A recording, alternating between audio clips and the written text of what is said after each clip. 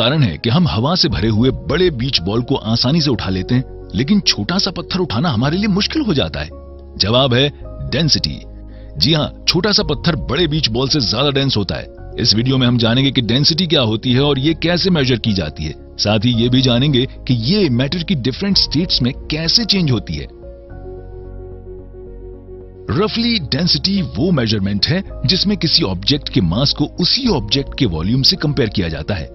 Actually किसी substance के unit volume में वेस्टेड यानी निहित मास को उस सब्सटेंस की डेंसिटी कहते हैं। तो बड़े बीच बॉल का मास कम होता है और वॉल्यूम ज़्यादा होता है, यानी इसकी डेंसिटी बहुत कम होती है। वहीं छोटे से पत्थर का मास ज़्यादा और वॉल्यूम कम होने के कारण इसकी डेंसिटी ज़्यादा होती है। इन ऑब्जेक्ट्स को उनकी बढ़ती हुई डेंसिटी के अकॉर्डिंग अरेंज करने की कोशिश करें। वीडियो रोक के सोचें अरेंज करें और फिर आगे बढ़ें। करेक्ट आंसर्स कुछ इस तरह हैं। क्या आप जानते हैं कि लिक्विड्स और गैसेस की भी डेंसिटीज डिफरेंट होती हैं? इस टेबल में दिए गए डिफरेंट लिक्विड्स की डेंसिटीज को देखिए। हनी, सबसे डेंस लिक्विड होता है। मिल्क की डेंसिटी मॉडरेट होती है और लैंप ऑयल की डेंसिटी सबसे कम होती है। लेकिन डिफरेंट स्टेट्स की डेंसिटीज के बारे में आप क्या कहेंगे? पानी में डूबने वाले और तैरने वाले अपने आसपास के ऑब्जेक्ट्स को केयरफुली ऑब्ज़र्व करें। आप बीच पे जाते हैं तो देखते हैं कि बड़ी सी बीच बॉल पानी पे तैरती रहती है। लेकिन छोटा और भारी पत्थर का टुकड़ा डूब जाता है। बहुत बड़ी बोट पानी पे तैरती रहती है। हैवी वुडन लॉग पानी पे तैरता है, जबकि छोटा और हल्का पेपर क्लिप पानी में डूब जाता है। आखिर ऐसा क्यों होता है? आंसर है डेंसिटी आइए देखते हैं कैसे एयर वाटर से कम डेंस होती है।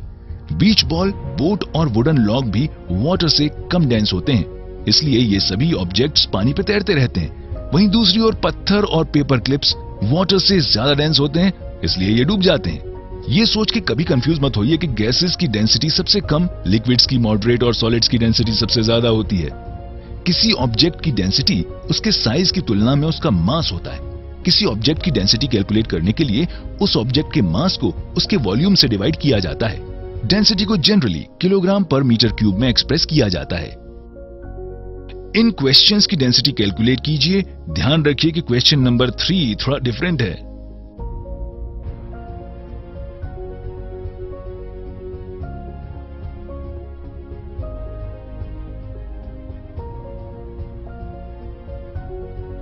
फॉर्मूला देख के हम कह सकते हैं कि डेंसिटी ऑब्जेक्ट के मास और साइज़ पर डिपेंड करती है। किसी ऑब्जेक्ट की डेंसिटी मास और वॉल्यूम के साथ साथ ऑब्जेक्ट के मटेरियल के एटॉमिक अरेंजमेंट पे भी डिपेंड करती है। सभी ऑब्जेक्ट्स में एटम्स और मॉलिक्यूल्स होते हैं। ऑब्जेक्ट्स के भीतर एटम्स और मॉलिक्यूल्स का अरेंजमेंट उस ऑब्जेक्ट की डेंसिटी तय करता है। पत्थर के टुकड़े में मॉलिक्यूल्स क्लोजली पैक्ड होते हैं, जबकि वुड में मॉलिक्यूल्स पत्थर की अपेक्षा दूर दूर रहते हैं। और गैसेस में मॉलिक्यूल्स एक दूसरे से बहुत दूर रहते हैं। सॉलिड आइस लिक्विड सी वाटर से कम डेंस होती है, इसलिए आइसबर्ग्स पानी पे तैरते रहते हैं। आइस के मेल्ट होने से इसका टेम्परेचर चेंज हो जाता है, जिससे इसकी डेंसिटी बढ़ जाती है और ये सी वाटर में मिक्स हो जाती है। इस डिस्कशन से हम कंक्लूड कर सकते हैं कि टेम्परेचर डेंसिटी को अफेक्ट करता है। टेम्परेचर और डेंसिटी के इस रिलेशन से हम हॉट एयर बलून की मैकेनिज्म को आसानी से समझ सकते हैं। हॉट एयर नॉर्मल एयर से कम डेंस होती है, जिससे हॉट एयर बलून ऊपर की ओर उठता है। हॉट एयर कोल्ड वाटर की अपेक्षा कम डेंस होता है, इसलिए ऊपर का सी वाटर नीचे के सी वाटर की अपेक्षा गर्म होता है। तो इस वीडियो में हमने डेंसिटी डिस्कस की।